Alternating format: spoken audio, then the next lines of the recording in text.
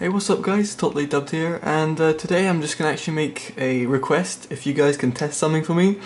As you can see I've got Zeam Launcher and uh, Starfield over here.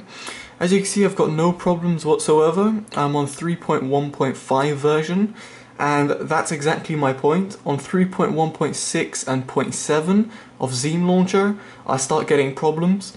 Now I'm going to show you the problem in just a second but notice over here there is no problem whatsoever. As you can see, I'll get my case off. You can see I'm on ICS right now, so if you can see I scroll, there's absolutely no problems. Right, the lining over here is perfect. So now I'm just quickly gonna update Zeam Launcher to the latest, latest one. So is 3.1.7. Apparently, um, the dev um, must be Michael um, could not find the problem. So now I'm going to go back into Zeam Launcher. But this time, bang, can you see over here on the right, I'm getting this problem. Now this doesn't happen when I scroll the other way around, so as you can see I'm scrolling right to left, it doesn't come. But when I scroll that way, left to right, it appears. And it's quite major, I can even see it on there and I can even see it when I run an app for example if I run the clock app you can still see it over there and it's quite significant. And I just want to ask you guys if you guys could test it and check it out for me to see if it's still like that for you guys uh, because that'd be a great help uh, to me.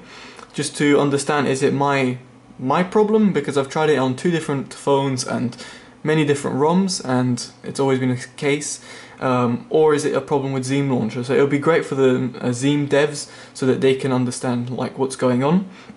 Uh, just to show you my setup on Zeam is, uh, doesn't matter, let's go preferences, right, so general I've got that, nothing, that's all.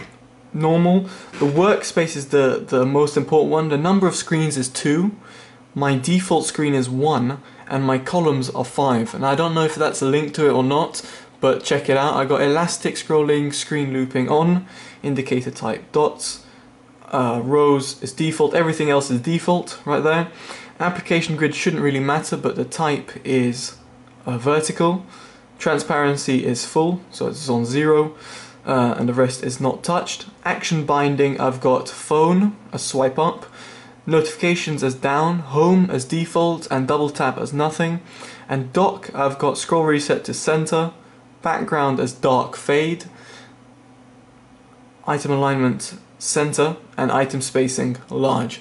So if you guys could help me out, that'd be great, um, because it would allow me to um, understand if it's my phone or not. So yeah, please uh, leave a comment below if you've tried. If you've tried, many, many thanks. I'll pass that on to the Zeam devs, see what they say. Um, but yeah, apart from that, thank you very much for watching the video and helping out. Thanks guys, bye bye.